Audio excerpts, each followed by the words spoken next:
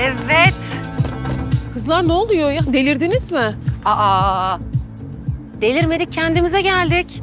Hep evlenmeler mi kutlanacak canım? Biz de boşanmayı kutluyoruz artık özgürsün baby. Yapmayın ne olursunuz Allah aşkına ya. Ay gidenlere güle güle hadi. Hı, oynayın. Ya lütfen bitti şov. Kapat şu müziği. Sen de Cemre ile buraya kadar gelmişsin. Ne yapıyorsunuz kızlar? E, e, bu simitler yanıyor. El alem ne derlerden karşı uzanınca sonunda yalnızdık. Dudaklar Gel gel. Hadi hayırlı uğurlu olsun. Daha nice boşanmalara. Ee, ne demişler? Evlenmenin en güzel kısmı boşanmasıymış. Kim demiş onu? Ay ben diyorum canım.